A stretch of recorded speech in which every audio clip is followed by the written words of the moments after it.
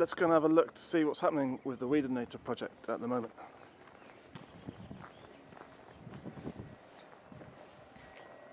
So this week I've been spending a lot of time upgrading the primary drive motors. There's one of them there and uh, there's the control drivers. They're quite um, posh, they're made by Leadshine. Uh, it's actually very high quality Chinese stuff. And it's got some pretty substantial uh, heat exchangers there. That's pretty good. Uh, actually work really well. Quite easy to program as well. But uh, because the steering is um, offset, so you can see there the steering centre is offset from the wheel. There's a wheel centre, and there's the steering centre. So we've got offset. So the geometry of the steering is quite complicated. If the centre was above the wheel, it'd be a lot easier. But mechanically, it's quite difficult to get that together. So it's a lot simpler mechanically to offset it like that. And a lot of tractors use that. A lot of four-wheel tractors, uh, for example, Deutz-Fahr use this uh, system. Obviously not electric, but uh, geared. So it's proven technology. It's nothing unusual about this geometry. But when you're going around the corners, this wheel, uh, for example, if it um, turns anti-clockwise, then the speed of the wheel needs to change during the turn. When it's actually in its turned position, it's not so critical, but it's when the wheel's actually moving. But fortunately, uh, these, I haven't turned this on at the moment, but these um, these units have got um, displays, LED displays, and I can display the torque on them, so I've managed to kind of debug what's going on by monitoring the torque. Uh, it's basically amps on uh, each each wheel. It's really useful. So I've managed to tune the uh, the, the, signal that's um, coming out of um, the TC275 uh, processor here to account for the geometry. It's not um, it's not ideal. There's still a little bit of deviation because these uh, motors are basically servo motors with um, optical encoders. They uh, need uh, quite accurate positioning and uh, they will fight to achieve the position. There's a certain amount of tuning in the drivers themselves which allows some deviation but ultimately they'll try and uh, reach a certain position. Uh, it's actually called position control. So it's really important that the programming in this unit uh, takes account of the geometry here. And I've got it pretty good and um, I think what I'm going to do to actually get it to fine tune, I'm going to actually get it to fine tune itself by putting a, um, a current sensor on uh, one of these wires here to monitor the amps. And then one of these wires here to monitor the amps on the other wheel. And then uh, let the processor uh, balance the torque on, on the wheels to a certain extent. Can't uh, be 100%, maybe I'll program it so that it um, will try and balance to about 10%. You give it some weighting in the programming algorithm, so it'll never be 100% accurate, it doesn't need to be, but yeah, you can use the, uh, current coming off these devices to assist the, uh, the, tuning. But um, so that's in work in progress. I spent the whole week doing that, and uh, yeah, it's getting there got a lot of clues. I think I'm, I'm on to solution there. And in the meantime, uh, the CNC mechanism's pretty much finished. And I can demonstrate the uh, x-axis here. I've just set up a um, little test rig here on a piece of plywood. There's the controllers and I'm just going to control it using this little potentiometer on a circuit board and hopefully if I move this you should see the whole gantry move one way or the other. There it goes. And there's a previous video showing the, um, the force that these um, motors can produce.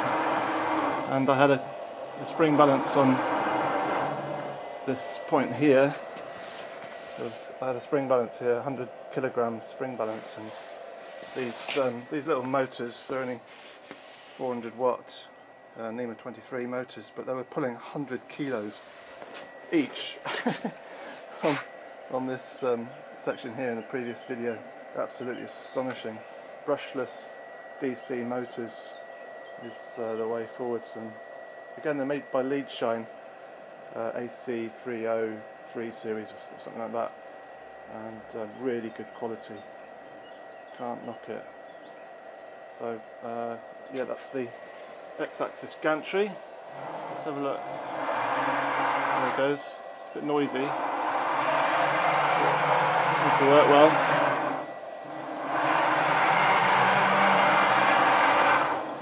And um,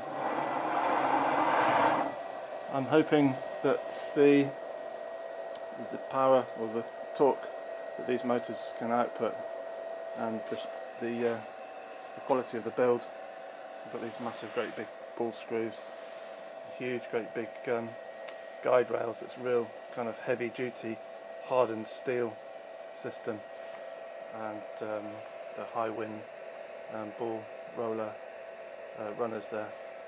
I'm hoping that because of the, the substantial nature of the build that it will cope with like small particles of soil or dust getting into the mechanism which is a bit of a concern. Uh, if it is a problem then I'm going to have to think about minimising the disturbance of the soil using different implements. So this is the y-axis here, these, these rails here and this is the z-axis here so let's um, demonstrate those working as well. The y-axis motor if we zoom in here can't yeah you can just see it there runs inside the chassis which has got a huge great big um, oval cutout in it so there's the chassis with those holes. There's holes, over holes in the bottom, there's a big oval hole in the side, which is a space-saving innovation, I suppose. And um, the motor just sticks out a little bit there, but what it does is it allows the x-axis to travel all the way to the side of the frame, so any tool that's on the x-axis will uh, cover the whole of the uh, seedling bed. So let's demonstrate that moving. Just give it a, a wires on the um, slider. There it goes. At good speed. No vibration or anything, it's all seems to be, and again it's got good travel on this side comes right up to the side of the, the chassis there. This is really important to get um, as much travel sideways as possible. Goes. So this one's just got one of those um, servo motors on it because it's got a lot less um, weight to move than the the x-axis which has got uh, those two of those saddles plus the weight of the uh, z-axis. So for the y-axis motor, all it's doing is moving this um, assembly here and whatever tools bolted to the front of it. So next thing to do is to demonstrate the, the z-axis.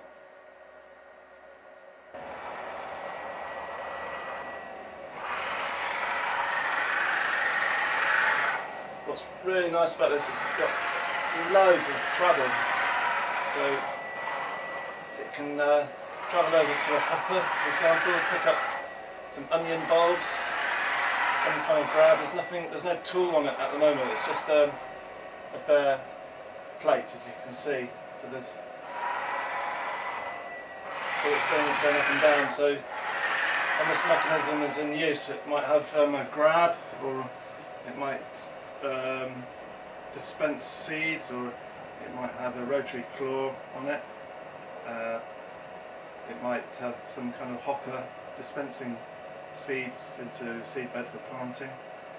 Uh, anything can be bolted onto that and uh, it can travel around in three three dimensions on the X, Y, Z. Uh, so options, all options are available uh, with this machine. We'll have to see how it progresses.